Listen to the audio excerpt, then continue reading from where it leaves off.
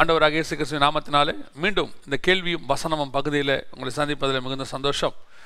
தினந்தோறும் நாம் அநேக கேள்விகளுக்கு பதில் பார்த்து கொண்டே இருக்கிறோம். நீங்கள் அநேகர் கேள்விகளை அனுப்பி கொண்டே இருக்கிறீர்கள். கத்தருக்கு ஸ்தோத்திரம். முடிந்தவரை நாம் இந்த இருபத்தைந்தாம் தேதி வரைக்கும் நாம் கேள்வி வசனம் பகுதியை பார்க்க போகிறோம். நாம் ஏற்கனவே அறிவித்தபடி அதற்கு பிறகு நாம் கொஞ்ச நாள் பிரேக் எடுக்க போகிறோம். நாம் ஜெபம் பண்ண போகிறோம். எங்கள் ஊழியங்களுக்காக எங்களுக்காக ஜெபித்துக் கொள்ளுங்கள். நாம் இன்னைய கேள்வி வசன பகுதிக்குள்ளே நாம் கடந்து போக போகிறோம். இந்த நாளில் நான் பார்க்க போகிற முதலாவது கேள்வி வெளிப்படுத்தின விசேஷம் ஒன்று ஒன்றிலிருந்து கேட்டிருக்கிறாங்க.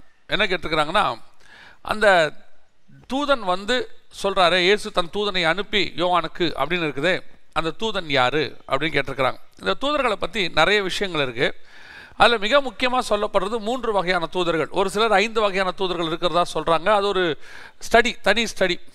நான் நிதானித்த வரைக்கும் வேதாகமத்தில் மூன்று வகையான தூதர்கள் இருக்கிறாங்க. ஒன்று மெசேஞ்சர்ஸ் இன்னொன்று வாரியர்ஸ் இன்னொன்று வர்ஷிப்பஸ் அதாவது ஒன்று செய்தி கொண்டு வருகிறவர்கள். இப்போது மரியாளுக்கு செய்தி கொண்டு வந்தாங்க தானியலுக்கு செய்தி கொண்டு வந்தாங்க இவங்கெல்லாம் தூந்து செய்தி கொண்டு வருகிறவர்கள் மெசேஞ்சர்ஸ் ரெண்டாவது வாரியர்ஸ் யுத்தம் பண்ணுகிறவர்கள்.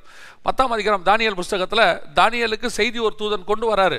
ஆனால் அதை பெர்ஷா தேசத்த அதிபதி எழுத்து நின்றான் இருக்கு. அப்போ அவருக்கு உதவி செய்யும்படி மிகாவேல் வந்தார். இவர் வாரியர்ஸ் பன்னிரெண்டாம் அதிகாரம் வெளிப்படுத்தின விசேஷத்தில் மிகாவேலுக்கும் சாத்தானுடைய தூதர்களுக்கும் சண்டை வந்ததுன்னு பார்க்குறோம்.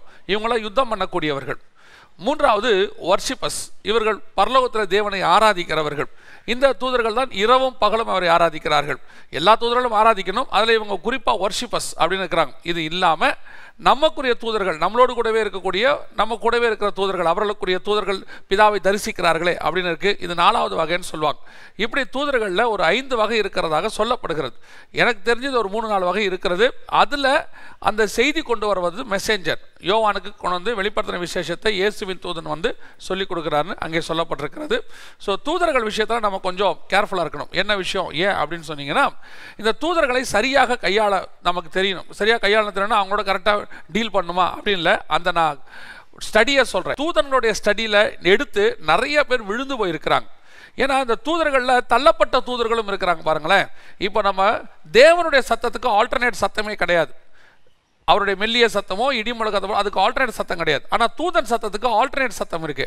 இப்போ நம்ம இந்த தூதன் சத்தத்தை கேட்குறோமா இல்லை தள்ளப்பட்ட தூதன் சத்தத்தை கேட்குறோமா அப்படிங்கிறதுல ரொம்ப முக்கியமாக இருக்கு. ஏன்னா நிறைய பேர் இந்த தூதர்கள் சொல்கிறாங்க தூதர்களை வச்சு வேலை வாங்குற தூதர்கள் என் கூட வராங்கன்னு நிறைய இந்த ஏஞ்சல்ஸ்க்கு இம்பார்ட்டன்ஸ் கொடுப்பாங்க. நாம் புதிய ஏற்பாட்டில் தேவன் நம்மோடு கூட இருக்கிறார். அவர்கள் பணிவிடை செய்கிற ஆவிகள். இந்த பணிவிடை செய்கிற ஆவிகளை கூட நம்ம வேலை வாங்குறோம் அப்படின்னு சொல்லிட்டு நிறைய பேர் என்ன செய்கிறாங்க இந்த தூதரோடைய அதிகமாக பேசுவாங்க. இந்த தூதரோட அதிகமாக பேசும்போது பல நேரங்களில் தள்ளப்பட்ட தூதர்கள் ஒளியின் வேஷம் தரித்த தூதன். அது கூட வந்து பேசுறதுக்கு வாய்ப்பு இருக்கு. ஒரு சிலரை நான் பார்த்திருக்கிறேன். அப்படி விழுந்து போனவர்கள் நிறைய பேர் இருக்கிறார்கள். நாம் தேவனோடு கூட பேசுவதற்கு அழைக்கப்பட்டமே ஒழிய தூதரோடு பேசுவதற்கு அழைக்கப்படவில்லை. நமக்கு தூதர்கள் என்ன பணிவிட செய்யணும் என்னங்கிறத ஆவியானவர் நமக்கு உணர்த்துவார். தேவனே நம்ம கூட இருக்கிறாரு. இந்த தூதர்களை நாம் என்ன செய்யணும்னு அவர் பார்த்துக்கொள்வார்.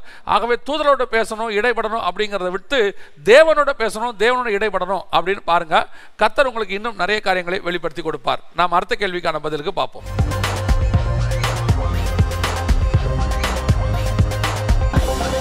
இங்கே ஒருத்தர் கேள்வி கேட்டிருக்கிறாங்க. நான் நிறைய டியூஷன் சென்டரில் பிள்ளைகளை வச்சுலாம் நடத்துகிறேன் அந்த பிள்ளைகள் நிறைய பேர் ஆண்டவரை அறியாத வீடுகளிலிருந்து வராங்க. ஆனால் ஆண்டவரை ஏற்றுக்கொண்டாங்க. அது மாத்திரமல்ல இந்த மாதிரி நிறைய பேர் தேவனை அறிந்தவர்கள் இருக்கிறாங்க. அவர்கள் இன்னும் குடும்பத்துக்கு ஆண்டவரை அறிந்தது தெரியாது. இப்போ இவர்கள் வந்து ஞானசானம் எடுக்கலை. எடுக்கிறதுக்கான சுச்சுவேஷன் இப்போ இல்லை. அப்படி இருக்கும்போது வருகை வந்துச்சுன்னா என்ன நடக்கும்? இவங்க கைவிடப்படுவாங்களா? அப்படின்னு சொல்லி கேட்டிருக்கிறாங்க. ஒரு காரியத்தை நாம் புரிந்து கொள்ள வேண்டும். தேவன் மிஷின் அல்ல சட்டத்திட்டத்துக்கெல்லாம் உட்பட்டவர். ஆனால் அந்த சட்டத்திட்டத்தை எழுதினவர் அதை தாண்டுவதற்கு அவருக்கு உரிமை இருக்கிறது. உதாரணமாக கல்லறிந்து கொள்ள வேண்டும் என்பது விபச்சாரிக்கு நியமிக்கப்பட்டது. ஆனால் அந்த அம்மாவையும் காப்பாற்ற வேண்டும் என்று அவர் விரும்புகிறார். அந்த இடத்துல நானும் உன்னை நியாயத்திருக்கிறதுலன்னு சொல்கிறார் அவர் அந்த இடத்தை தாண்டி அந்த அம்மாவை மீட்க விரும்புகிறார். அவர் தான் இந்த நியாயப்பிரமாணத்தை கொடுத்தவர். ஆனால் நியாயப்பிரமாணத்தை தாண்டி ஒருத்தர் மனம் திரும்பும் போது அவர்களை அவர் மனம் திரும்பதிலை அக்செப்ட் பண்ணி அவர்களை மீட்க அவர் விரும்புகிறார். அதே மாதிரி தான் இப்போ ஞானசானம் என்பது நமக்கு கொடுக்கப்பட்டிருக்கு. கண்டிப்பாக எடுக்கணும். எடுக்கிற சூழ்நிலை இருந்தால் நிச்சயமாக நீங்கள் எடுக்கணும். தள்ளி போடக்கூடாது. அப்படி தள்ளி போட்டு வேணுன்ட்டே தள்ளி போடுறவங்க ஒரு குரூப் இருக்கிறாங்க. அவங்க அதுக்கு பல மூல காரணங்கள் சொல்லுவாங்க. ஆனால் சில இந்த மாதிரி பிள்ளைகள் விஷயத்தில் எடுக்க முடியாத சுச்சுவேஷன்ஸ் இருக்கும். அவங்க வீட்டில் எடுக்க முடியாது. அப்படி இருக்கும்போது கத்தர் அதை அறிவார். அவர் வரும்போது அதற்கான கிரியைக்கு தக்கதான பலன் அவரோடு கூட வருகிறது. அவர் தான் நியாயந்திருக்கிறவர் யாரையும் வேணாம் யாரையும் வேணும்னு சொல்கிறதுக்கு அவர் வல்லமை உள்ள அவர் யாரையும் வேணாம் யாரையும் வேணும்னு சொல்றதுக்கு அவருக்கு முடியும். நாம எதையுமே காலத்துக்கு முன்னாடி நியாயந்திருக்க முடியாது. ஒரு காரியம் உண்மை. ஞானசானம் எடுத்தால்தான் பரலோது போக முடியும் இருக்கு நம்ம அதை போதிக்கிறோம். அதே நேரத்தில் சிலுவையில் கல்லன் வந்துட்டு ஞானசானம் எடுக்கலையே பரதேசிக்கு போயிட்டானே. பரதேசிக்கு அவர் போயிட்டார். பாரடைஸ் பழைய ஏற்பாட்டு பரிசுத்தவான்கள் எல்லாருமே பாரடைஸ்க்கு போயிட்டார் அவர்கள் ஞானார்த்தமாய் ஞானசானம் எடுத்தார்கள் வர சொல்லப்பட்டிருக்கிறது. அதாவது நோவா பேழைக்குள்ளே போனது ஞானசானமாகவும் சொல்லுது. இஸ்ரவேலர்கள் செங்கடலை கலந்த ஞானசானமாக சொல்லுது. அப்படி ஞானார்த்தமான ஞானசானங்கள் இருக்கிறது. ஆனால் எடுக்க வேண்டும் என்பது கட்டாயம். வேதம் சொல்லுகிறது. எடுக்க முடியாத சுச்சுவேஷன் அந்த நேரத்தில் வருகை வருகிறதால் அதை கர்த்தர் பார்த்து கொள்வார் அதற்காக அவங்க பாவி ஞானசானம் எடுக்கலங்கிற ஒரே காரணத்துக்காக அவங்க மன திரும்புதலையும் அவங்களுடைய கீழ்ப்படிதலையும் அவர் அசட்டை பண்ணுகிற தேவன் அல்ல. மிஞ்சினது கர்த்தர் கருத்திற்குள் இருக்கிறது. நாம் விசுவாசிக்கிறோம். அப்படிப்பட்டவர்களையும் கர்த்தர் எடுத்துக்கொண்டு தான் போவார் என்று நாம் விசுவாசிக்கிறோம். அவர்களுக்கு தக்கதான பலன் ஒன்று இருக்கோ அதை ஆண்டவர் செய்வார். நாம அடுத்த கேள்விக்கான பதிலை பார்க்கலாம்.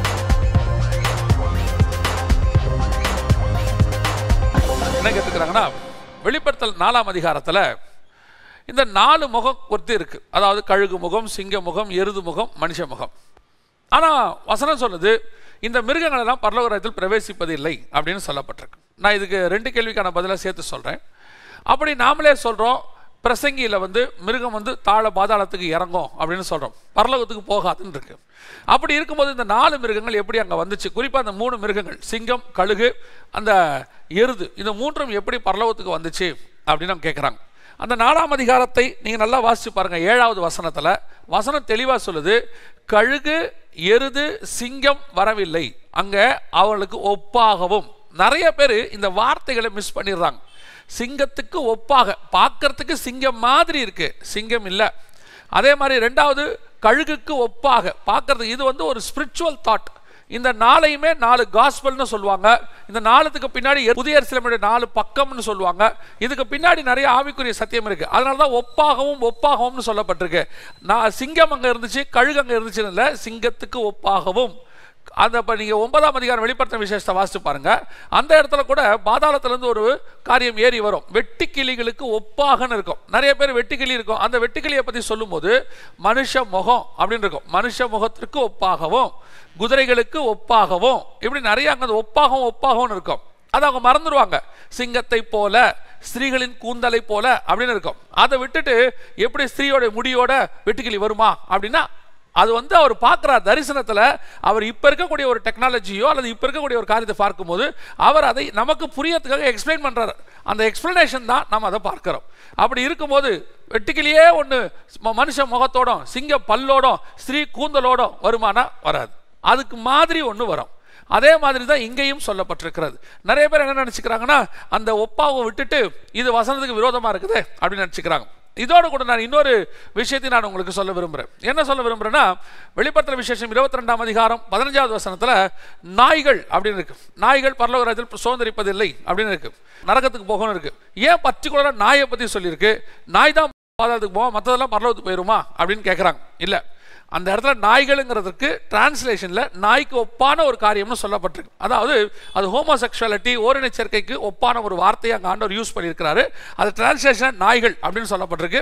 அதே காரியம் பழைய ஏற்பாட்டில் எப்ரேய மொழியில் வரும்போதும் நாய்க்கோப்பாக தான் யூஸ் பண்ணப்பட்டிருக்கிறது. ஸோ அந்த இடத்துல அந்த சொல்லப்பட்டிருக்கிற காரியம் நாய்க்கோப்பான அதாவது அந்த ஹோமோசெக்ஷுவாலிட்டிக்கான ஒரு காரியத்தை தான் அங்கே சொல்லப்பட்டிருக்கிறது ஒழிய அங்கே நாயை குறித்து சொல்லலை. ஏன்னா நிறைய பேர் நாய் தான் போகாது மற்ற மிருகம்லாம் போகும்னு சொல்லிட்டு நான் மிருகங்களுக்காக அது ஆத்மாக்களுக்காக அது பரலோகத்துக்கு போகிறதுக்காக ஜோம் பண்ணுறவங்களா இருக்கிறாங்க அதுக்கு அடக்காராதனை பண்ணுறவங்களா இருக்கிறாங்க.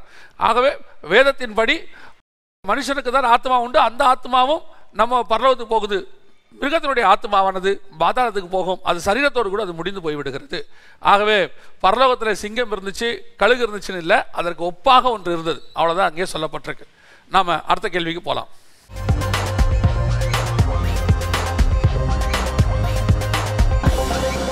அடுத்து இங்கே ஒரு பிரதர் கேள்வி கேட்டிருக்கிறாங்க. என்னென்னா லில்லியத் பற்றி கேள்வி கேட்டிருக்கிறாங்க. இந்த லில்லியத்தை பற்றி நம்ம ஏற்கனவே நிறைய சொல்லியிருக்கிறோம். ஆனால் இவங்களுக்கு நிறைய ஒரு நாலஞ்சு கொஸ்டின்ஸ் அதை பற்றி கேட்டிருக்கிறாங்க.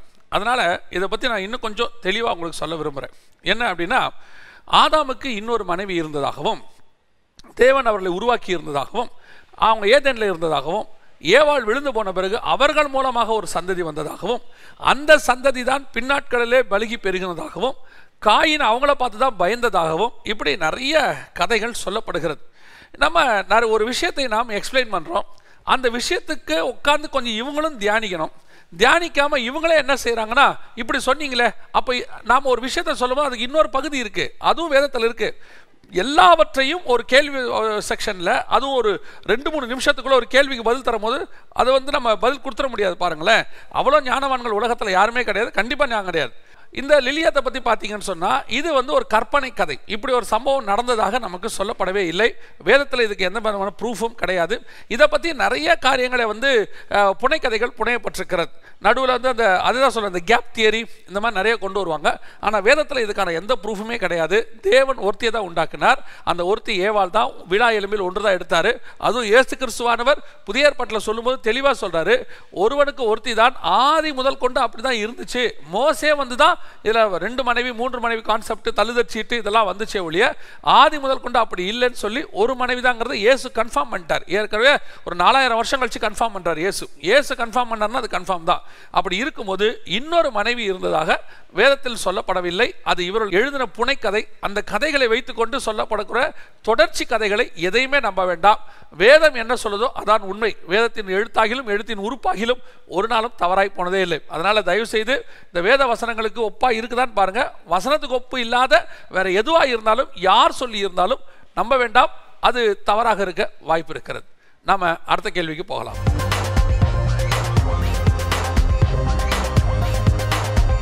இங்கே ஒருத்தர் ஒரு கேள்வி கேட்டிருக்கிறாங்க.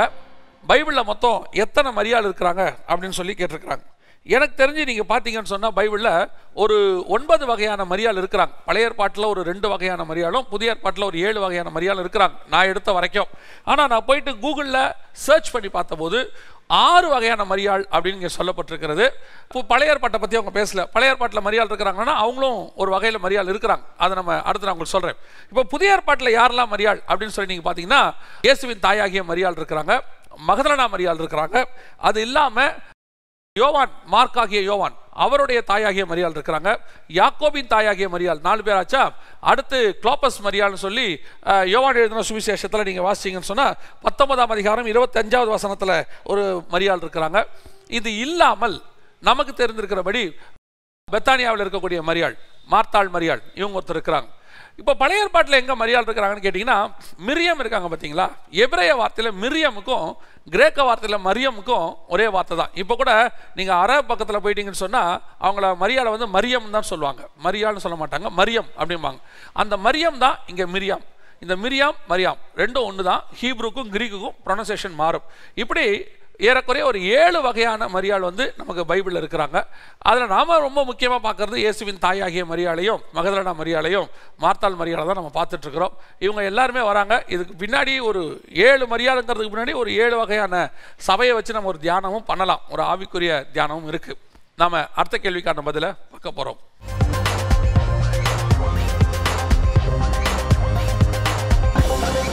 இது ஒரு மிக முக்கியமான ஒரு கேள்வி. ஒரு சகோதரர் எனக்கு வாய்ஸ் மெசேஜ் அனுப்பி அண்ணே கண்டிப்பாக இதுக்கு நீங்கள் பதில் சொல்லுங்கண்ணே அப்படின்னு சொல்லியிருக்கிறாங்க. இதை பற்றி நான் ஒரு ரெண்டு மூணு வருஷமாகவே இன்னும் சொல்ல போனால் ஒரு அஞ்சு வருஷமாகவே இந்த பிரச்சனை ஒன்று போயிட்டு இருக்கு ஆனால் இதை பற்றி நான் ரொம்ப அதிகமாக பேசினதில்லை. ஆனால் இந்த சகோதரர் அண்ணன் இல்லை இதை பற்றி நீங்கள் கண்டிப்பாக ஒரு பதில் கொடுத்துருங்கண்ணே அப்படின்னு சொன்னதுனால இப்போ நம்ம அந்த பதிலை நம்ம கொடுக்க போகிறோம். எதை பற்றி அப்படின்னு கேட்டால் ஒரு வகையான கள்ள உபதேசம் ஒன்று கிறிஸ்தவர்களுக்குள்ளே மறைமுகமாக போய் கொண்டிருக்கிறது நிறைய வீடுகளை அதை நாசம் பண்ணி கொண்டிருக்கிறது. என்ன அப்படின்னு கேட்டிங்கன்னா பர்சுத்தாவின் அபிஷேகத்தை பெற்றவர்கள் ஆவிக்குரியவர்கள் கணவனும் மனைவியும் அதற்கு பிறகு குடும்ப வாழ்க்கை வாழக்கூடாது.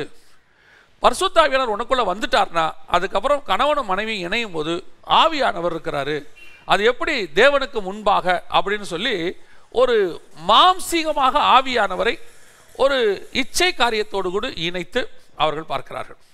இது எந்த அளவுக்கு சாத்தியம்? இதோட அடுத்தபடி ஒன்று இருக்குது அப்படி இருக்கிறவங்க கம்யூனியன் எடுக்கக்கூடாது. கணவனும் மனைவியும் சேர்ந்துட்டா கம்யூனியன் எடுக்கக்கூடாது அப்படின்னு சொல்கிறவங்க இருக்கிறாங்க.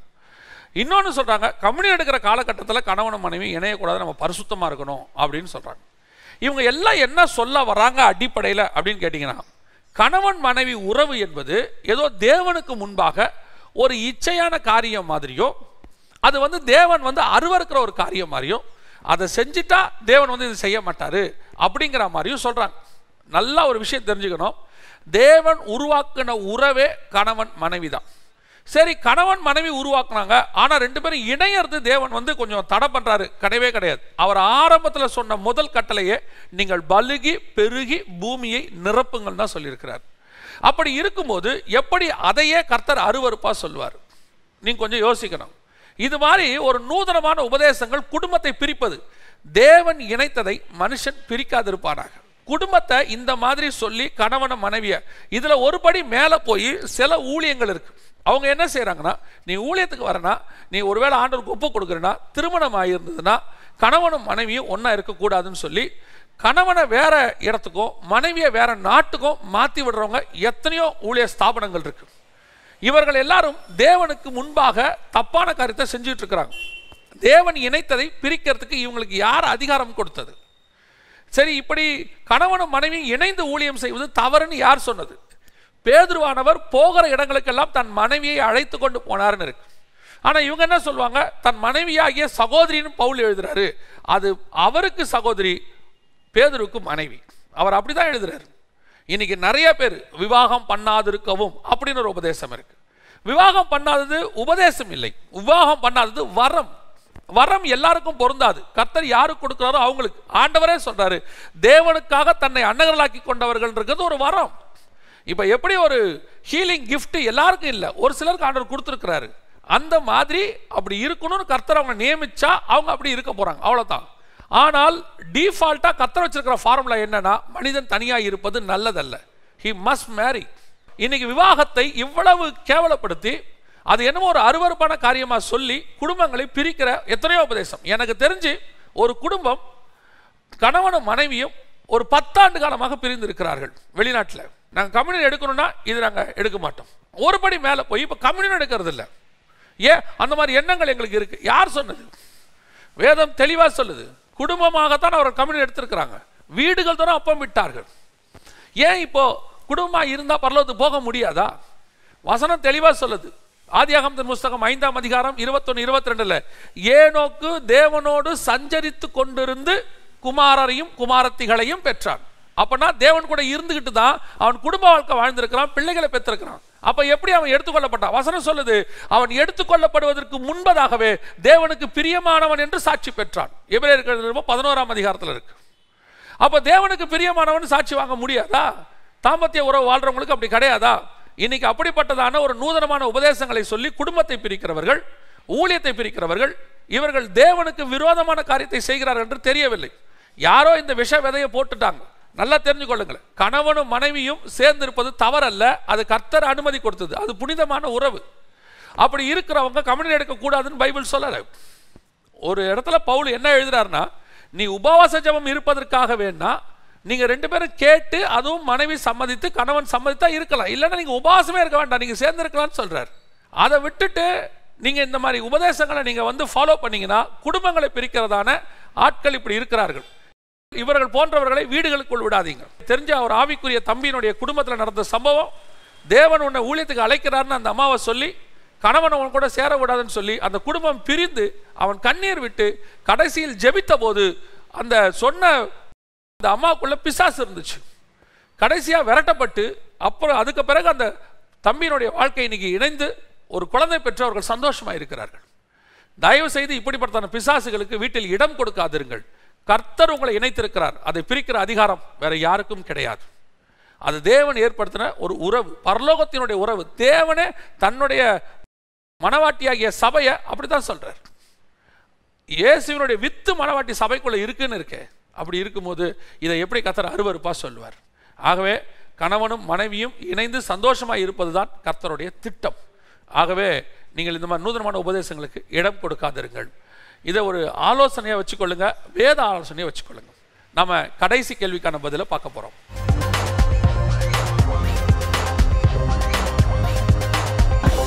நம்ம ஆஸ் யூஷுவல் டெய்லி பார்க்குற மாதிரி இந்த கடைசி கேள்வி கிறிஸ்மஸை பற்றின கேள்வி.